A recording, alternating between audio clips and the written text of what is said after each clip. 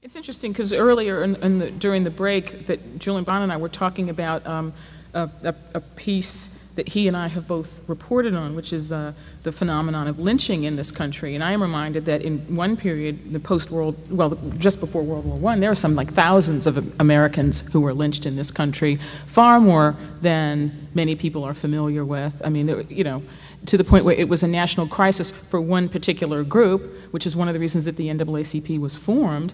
Um, and yet, what is also little known is that other people were lynched as well. You know, Italians, you know, Chinese people, Mexicans, Jewish people, um, and, and that's terror. That was terrorism, and yet our consciousness of this seems to have been obliterated. And Right. so Columbine.